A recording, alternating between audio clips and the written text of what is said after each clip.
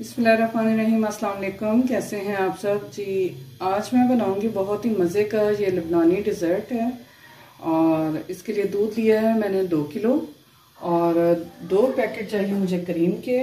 और सूजी चाहिए मुझे आधी प्याली, चीनी एक प्याली, या आप अपने टेस्ट के हिसाब से डाल सकते हैं। चीनी, वनीला एसेंस चाहिए मुझे कॉर्नफ्लोर दो से तीन खाने के चम्मच, ज़ाफ़रान चाहिए थोड़ा सा और पिस्ता और रोज़ वाटर।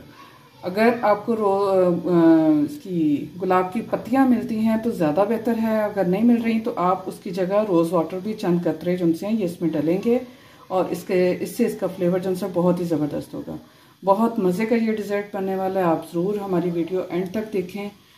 और चलें जी, अब शुरू करते हैं। इसमें रफानी रहेंगे सबसे पहले जो है ये एक किलो दूध जो सा है, वो मैंने एक दूसरी देगची में डाल दिया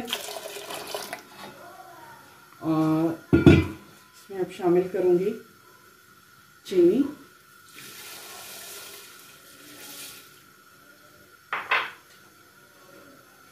और चंद कतरे वनीला एसेंस के।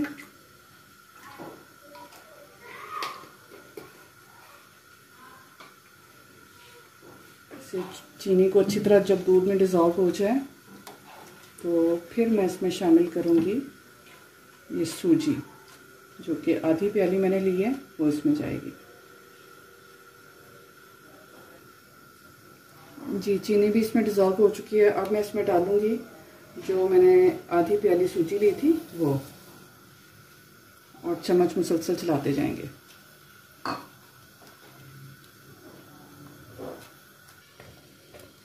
जी, सूजी डालने के बाद इसे चम्मच में सलसल चलाते रहना है, ताकि ये गाढ़ा सा बैटर एक तैयार हो जाए हमारे पास। देखिए, गाढ़ा होना शुरू हो चुका है। और इसे अब थोड़ा सा और मैं गाढ़ा करूँगी और यहाँ मैं इसमें शामिल करूँगी चंद कतरे रोज़ वाटर के।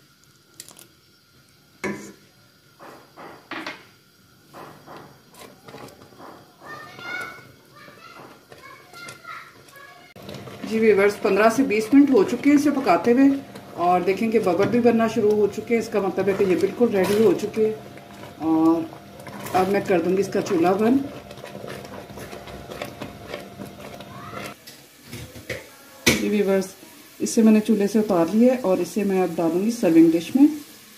और इसे रूम टेम्परेचर पर ठंडा होने के बाद मैं फ्रिज में रख दूँगी ताकि ये अच्छी तरह सेट हो जाए।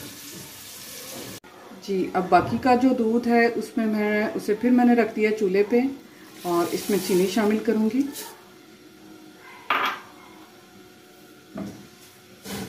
और चीनी को डिज़ोल्व होने दूँगी इसमें।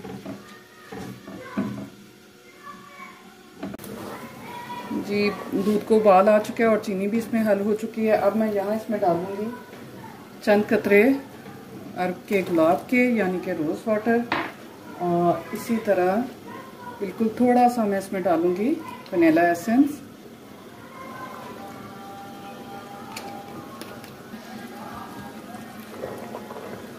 रोज़ वाटर डालने के बाद अब मैंने जो कॉर्नफ्लोर था उसे मैंने घोल लिया और दूध में थोड़ा सा घोल लिया था ठंडे दूध में और अब मैं इसमें शामिल करने के बाद अच्छी तरह चम्मच से इसको हिला लेंगे। और थोड़ा सा गाढ़ा होने पे बिल्कुल हमारा रेडी हो जाएगा बैटर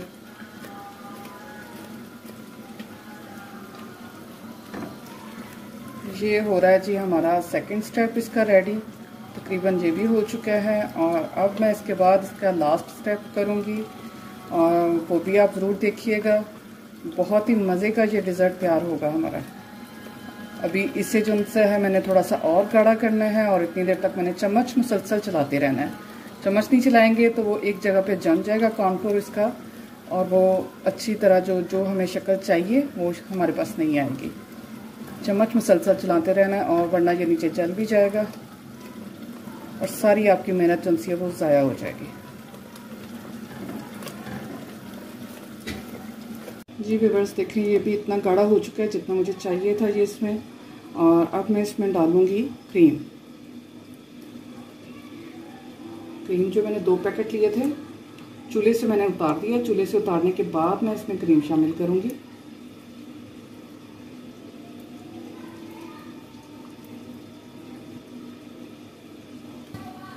जी वीवर्स दोनों पैकेट जिनसे हैं, मैंने क्रीम के इसमें शामिल कर लिए हैं और अच्छी तरह अब मैं मिक्स कर लूँगी।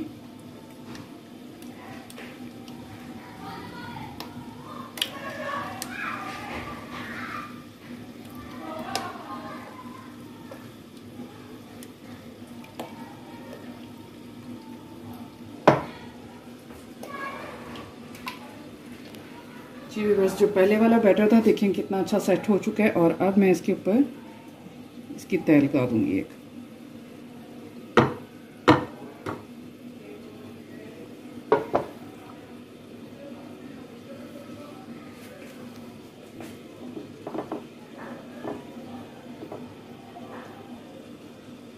अच्छा सा सेट करके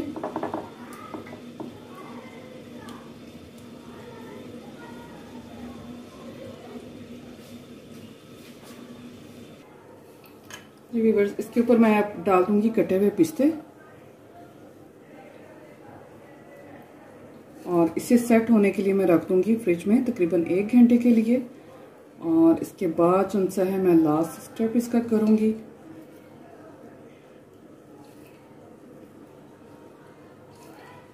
वो भी देखिएगा ज़रूर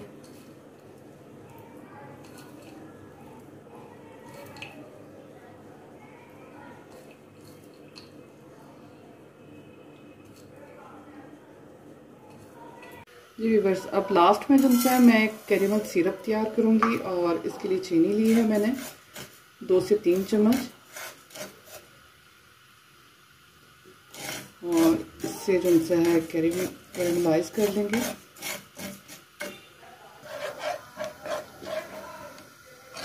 ये कैरेमल होना शुरू हो चुका है।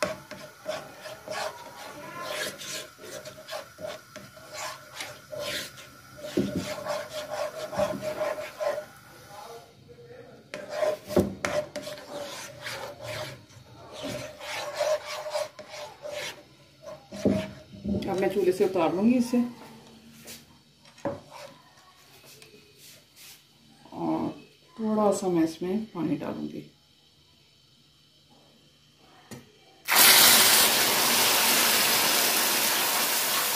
और इसके साथ ही मैं इसमें डालूँगी ज़ाफ़रान की पत्तियाँ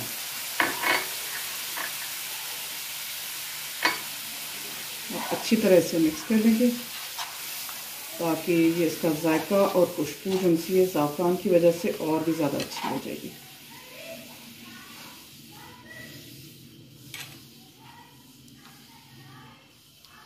अब मैं वापस फिर इसे चूल्हे पे रखूँगी।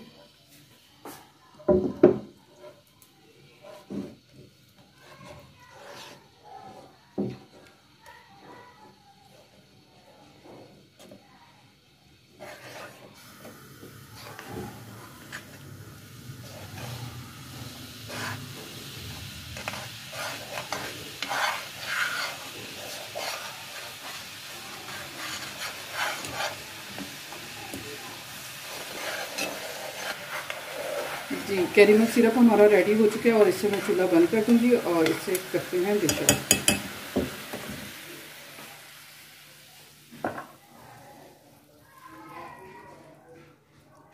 ज़ाफ़रान के साथ बहुत ही ज़बरदस्त ये सिरप रेडी हुआ। है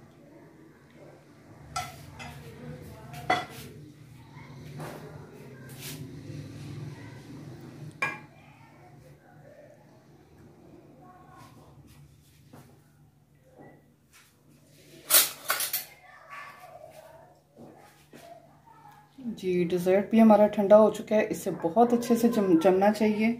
और जब आप जमा लें, तकरीबन दो से तीन घंटे इसे फ्रीज़र में रखें ताकि ये अच्छे से सेट हो जाए। सेट होने के बाद आप इसके ऊपर थोड़ा सा ये कैरेमल सिरप जो सा, जब आप इंडिविजुअली भी जब सर्व करेंगे प्लेट्स में तो उस पर भी आप साथ एक एक चम्मच जो सा ये सिरप का डाल के दें। जी, इस तरह इसके ऊपर सिरप जो सा ये स्प्रेड करके तो फिर जो सा ये आप अपने मेहमानों के सामने पेश करें और उम्मीद है कि ये रेसिपी भी आपको बहुत अच्छी लगेगी, बहुत मज़े की बनी है। और आप भी ज़रूर ट्राई करें और अपने कमेंट बॉक्स में बताएँ कि कैसी लगी हमारी आज की ये रेसिपी आपको। अपना बहुत सा ख्याल रखें दुआ में याद रखें। ओके जी, अल्लाह हाफिज़।